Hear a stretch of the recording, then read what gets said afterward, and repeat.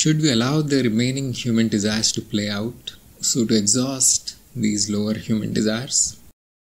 Basically, first thing, nobody is there to allow or disallow. Nobody is there.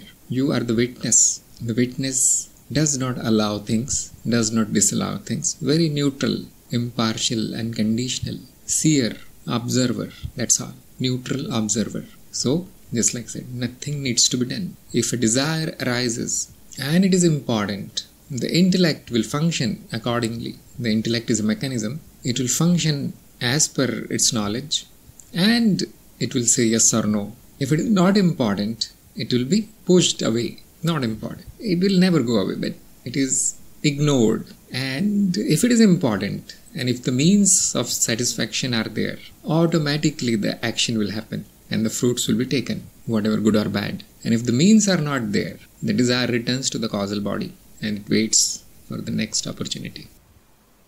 There is nobody to interfere in this mechanism. There is no individual want. Since there is no individual desire, the desire to allow or disallow is also not there. At the level of the illusion, we use this kind of language sometimes. Now, it is a seeker. This individual is a seeker. Now, the seeker is confused. What should I do with my desires and so on? So, taking into consideration the ignorance of the seeker, the guru will suggest something. Oh, he is still thinking that they are my desires. So, the guru is going to give a medicine. It will be like fake medicine. And as soon as the intellect of that seeker matures to the point where it understands finally that nothing is mine, it's all an illusion, it's all happening on its own. There is no me. And at that point, this question will be dropped. It is not that there, there is an answer to these questions. No, there is no answer because the questions arise from ignorance, and when the ignorance is seen, the questions disappear. It's always like this most of the time. That is why awareness is so important. The meaning of awareness is simply this that you always remember, always remember the knowledge, be in the knowledge, and then whatever happens, happens. It's perfectly okay. As soon as there is a thought that this should not happen, or I need to do something, or there is a thought that I need to stop something, and uh, I need to interfere into these things. You know, this machine is not working perfectly, so let me fix it. These are all egoic thoughts. It's the individual cooking up these thoughts. Experiencer never does things like this, it never thinks anything. So, once it is seen in the light of awareness, the thoughts they arise and they disappear. And then, whatever must happen as per the laws of the mind, it happens even if you queue up your desires you know prioritize your desires i want to fulfill this and that under the spell of the ignorance it is perfectly okay. No problem. Now this is happening. Now this is this was important. This was necessary. So this priority wise list has been made by the creature. But, but it will fail very quickly. It is frustrating. So that is why we have this idea of living in the moment. Do the next thing. See what is the desire today. Are there any means available? Drop down in ignorance, drop down in the illusion, carry out the work, and then come back in awareness. Oh, it was all illusion. It was not me. I did nothing. And the next day, this will continue till the causal body ex- is exhausted or is tired of doing meaningless actions because all these human human actions are meaningless anyway. So there is detachment now finally and the birth stops. Human birth will stop and the human desires will stop. This is the mechanism. It is not possible to allow or disallow. The natural mechanism will take care of it. And on the path of knowledge, obviously, we are in a hurry, but not that much, not in an extreme hurry. So we wait for nature to do her work. We cannot do anything. That is poetic description. Nature is simply an idea. Pardeep is saying, Seeker asked me this too. What's your date of self realization? And how much then time you took for Brahmagyan, if you can share it. Date of self realization. I think it happened many times. Now I forgot.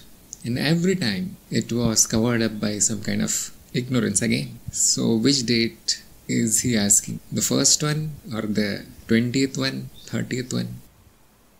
You see, these questions are very funny what what people are going to achieve by this No, I'm talking about this lifetime only. I don't remember any other lifetime. What people are expecting by this? It happened many times in this lifetime. How many times everybody must have heard these things no you are the atman you are the brahman we are listening to these things since the since childhood sometimes there is a light bulb quick quickly goes back into ignorance so it is still going on you see who knows next day it will be gone then it will come back again so nobody has the control over these dates. But the point is that seeker will gain nothing by knowing the date. Is he going to celebrate the anniversary or something like this? And then how much time I took for Brahmagyan? Who knows? Was I counting the days? So many days for Brahmagyan? No. And even if I took some X number of days, it is going to do nothing for others. They will take their own time. They can take 50 lifetimes if it is necessary. So you see, these questions deserve a heavy fees 20,000 per question. And then people will stop asking stupid questions. Then they will value their question. You know, I should ask something which benefits me. You must have guessed why, why most of the teachers they take a lot of money for answering the questions so that you value this time. If he keeps asking these questions, he will never achieve these things. He will never get the knowledge. He will keep counting the days and dates, celebrating anniversaries. So, anyway, ignorant people, you cannot expect them to ask anything concerning knowledge. The darkness is complete, the blackout is complete. So, my answer is mostly, most of the time, it is like this, you know. People ask all kinds of dates. What is your date of birth? What is your date of marriage? What is your date, date of death? Do you know your date of death? And I have only one answer. Even if I told you how is how is that going to get you closer to your goal, and then it turns out they don't have any goal. They're just killing time. Paramjit is saying why some seekers have the knowledge of path of knowledge and still can't separate themselves from tantra or agro, other occult. You see, is it necessary to separate from tantra? Are you saying that it is harmful and they still continue practicing it? Are you saying it like this? Or are you saying that they are interested in it, successfully practicing it for whatever reason? There can be two situations, no? In the first situation, the seeker on the path of knowledge keeps doing the stupid things which are harming him or wasting his time, and that means he has no knowledge, you see. In the second situation, where he is utilizing the occult, the mental technology for some good purpose, you know, like for teaching, etc., removing the obstacles of the seekers and so on, then it's very good should not separate, should continue using it. So I am asking Paramjit, these who are these some seekers? What are they doing wrong? Can you tell me? Because it is personal. Whatever people do in their life is personal choice. It is like you have the knowledge that I am not the body, but the body is still eating, the body is still sleeping. Why don't you simply separate yourself from the body and stop all these things? Paramjit is saying, I am not into that, but I have listened seen in this satsang. Some seekers are doing that part one of your answer. Okay, how can we stop anybody, you see? Their path is different then. If they do it without asking me, then I have no way to know anything, you see. How come how come you came to know these things? because occult is supposed to be secret. Nobody should know about it. But if I come to know about it, then my answer is very clear that don't do it. If you want to do it, get a guru. Without guru, it should not be done. If they don't ask me, I have no objection actually. Because Guru does not mean that he commands people. Guru means he guides people. There is only guidance, you see. In my commands also there is only guidance. Rajit is asking, I want to please Devi or Goddess. How can I do the same? I feel very positive when I worship Goddess. It's very easy. You need to find a good teacher who can teach you the worship part and the techniques the rituals and so on and start following the instructions. You can uh, go to any Devi temple nearby, start asking, or you can go to any ashram which belongs to this path, or you can search on the internet Devi sadhana and so on. So you will get many people who can teach you. Jagannath is saying, is self realization, Brahman realization permanent? If not, how long can one expect this realization to, uh, realization to last before ignorance takes over again. You see, knowledge is stored in the memory, and just like everything else, impermanent. However, once the impression is there, this impression will keep on expressing as a desire for knowledge in whatever form it takes. In that form, this desire will be present. Nothing to worry, you see. Probably you're still thinking that this person realizes that I am the Brahman and then wants to keep this knowledge. No, never happens. The realization is that there is no person, there is only Brahman. This form is the illusory play of Brahman. And now there is nobody to keep the knowledge, you see. And there is no use keeping it. When this impression is made, then whatever the natural process is will happen. If it must be forgotten, it will be forgotten. If it is recalled again, some other lifetime, it will be recalled. Then the next part is how long can one expect this, real, this realization to last before ignorance takes over? See, my experience is it can take anything from five minutes to the whole lifetime. There is no formula to calculate these things, you see. And even if, if I told you a number, what are you going to do with that number? Tell me. Just like I said, no. Somebody was asking the dates of realization and how long it takes. Even if I tell you a number, what will you do with it? How will that make you progress further? How will that clear any of your ignorance? Do you want the knowledge so that it can last forever?